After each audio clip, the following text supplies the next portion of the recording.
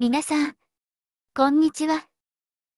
バーチャルボックスというと、Windows にインストールして、マウス操作で仮想マシンを構築するのが一般的だと思います。本日は、Linux のキャラクターユーザーインターフェースな環境に、 Vagrantと VirtualBoxをインストールします。インストール後は、Windows で、比較的容易に仮想マシンを立ち上げることができますが、Linux では、コマンドによる操作となります。バーチャルボックスだけでも、コマンドによる仮想マシンの制御は可能ですが、いかんせんコマンドが複雑で戸惑うこともあります。レイグラントは、この困難なコマンドを楽にしてくれる便利なツールですのでセットでインストールします。こんにちは、四国メタンです。よろしくお願いします。早速ですが、ウェイブラントのコマンドは公式ページに記載されており、それほど難しいものではありません。こんにちは、春日部つむぎです。よろしくお願いします。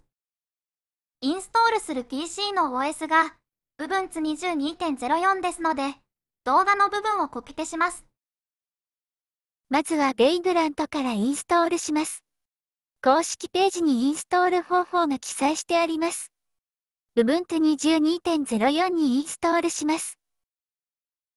Ubuntu の場合、3つのコマンドを入力するだけでした。ウェイブラントのインストールには結構な時間がかかりました。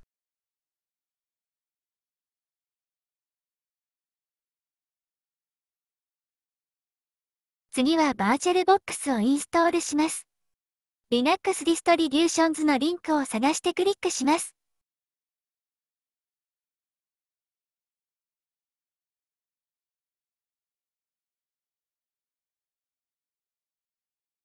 インストールする OS の上で右クリックしてリンクを取得します。この URL は後から必要になるのでメモっておきます。SSH 接続した黒い画面でコマンド入力をします。wget を使用してファイルをダウンロードします。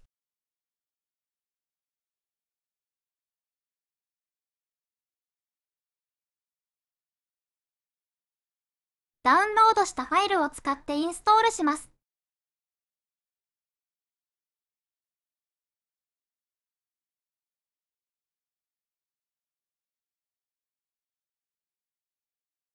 パッケージのインストールでエラーが発生しました。インストールされていないと表示されたツールをインストールします。エラーが出てインストールできません。指示通りのコマンド入力をします。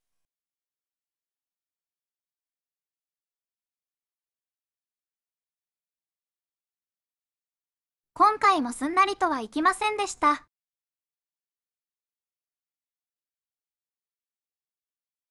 セキュアブートの問題が発生しましたが、続けて、 VirtualBoxのインストールをします。 VirtualBoxのインストールには、いろいろと事前準備が必要でした。同じ問題が発生しましたが、バージョンの確認をします。警告が出たので、指示通りのコマンドを入力します。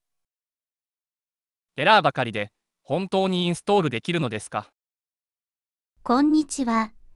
途中から参加の九州空です。よろしくお願いします。エラーの件ですが、多分大丈夫です。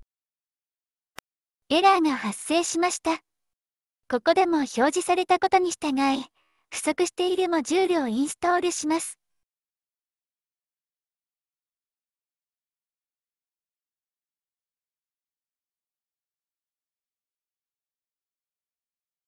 次から次へと問題が発生して大変です。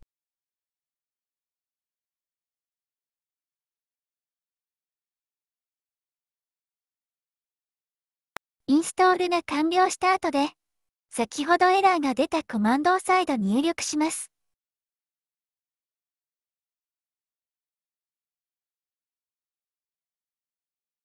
今度はうまくいきました。 VirtualBox拡張パックのインストールもします。同様にして、拡張パックのリンクを取得してファイルをダウンロードします。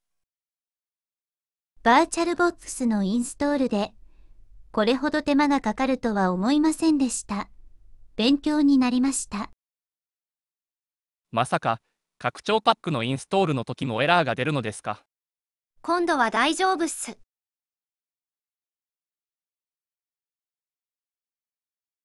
VirtualBox専用のコマンドを使用して拡張パックをインストールします。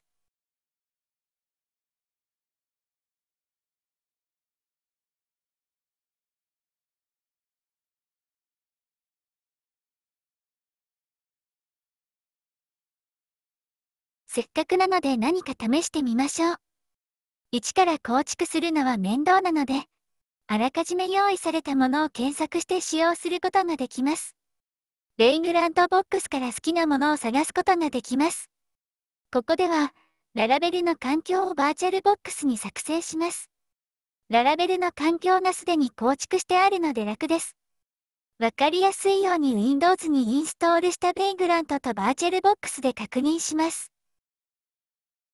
この前の動画でも言いましたが、魔法少女ララベルとの違いを理解するのに1年以上もかかりました。最初に、適当なフォルダを作成します。簡単なため、C ドライブ直下に、テストというフォルダを作成しました。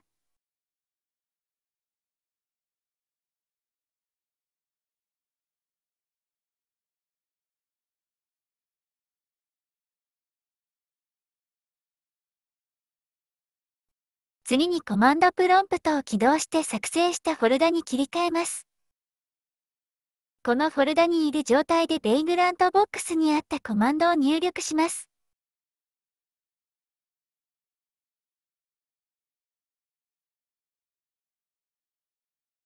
すると、コマンドを実行したフォルダに、ベイグラントファイルが作成されているはずです。少し、このファイルを編集することにします。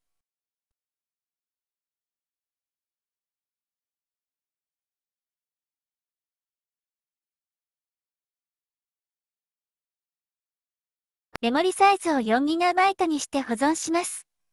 他にも色々設定できますが、メモリサイズだけ変更することにしました。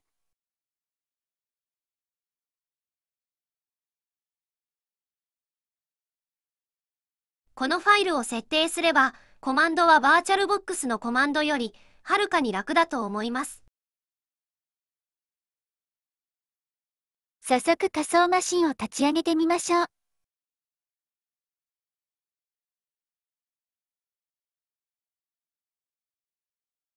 またまた、やらかしてしまいました。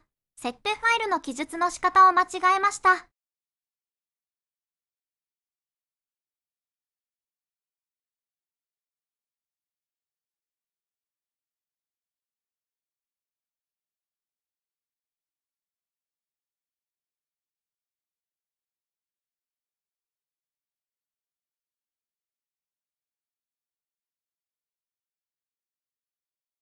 VirtualBox とコマンドプロンプトを同時に確認すると、コマンド入力したことが VirtualBox に反映されていることが確認できます。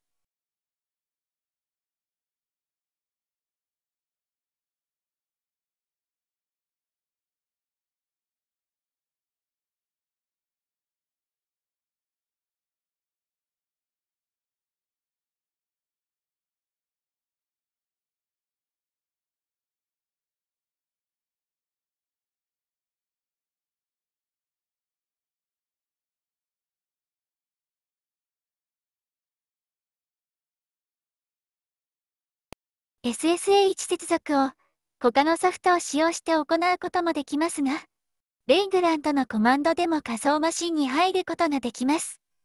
他にも便利なベイグラントのコマンドが用意されていますし、設定ファイルがあるので、比較的容易に仮想マシンを作成できると思います。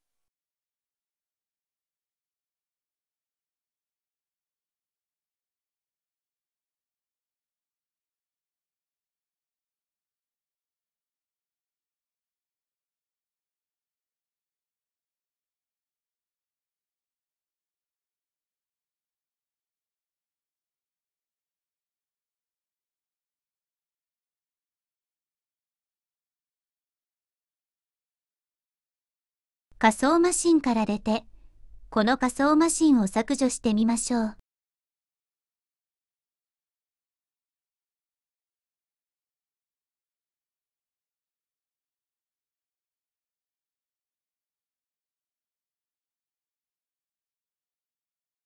本日はここまでにします。ご視聴ありがとうございました。